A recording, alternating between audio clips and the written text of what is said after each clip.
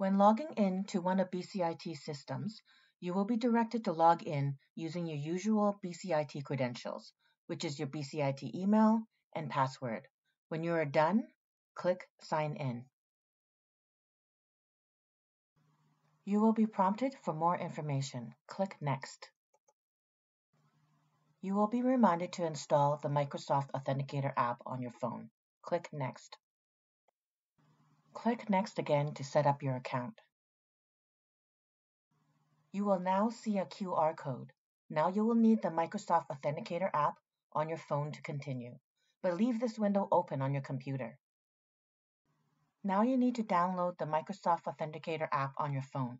It can be found on the Google Play Store or the App Store on Apple devices. Download the app onto your phone. When the app opens, click Accept. Click Continue. Select Add Work or School Account.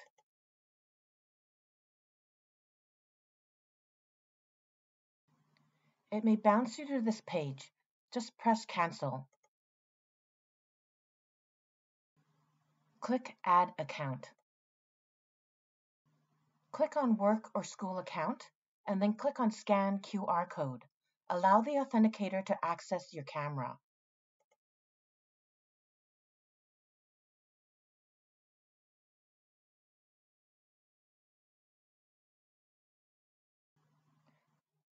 Now click on your account. Once the account has been added, you will see a screen similar to this. Once you see this screen, return to your computer.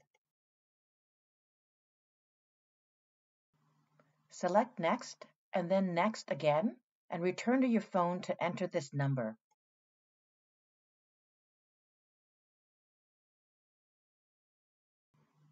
You will have received a notification on your phone. Enter the number and click Yes.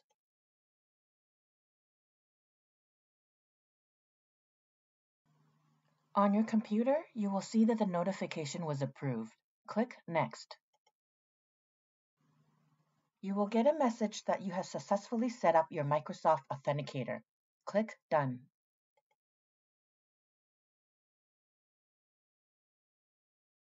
This is a one-time setup process. Going forward, every time you log into a BCIT system that requires MFA, you will receive a push notification to your phone.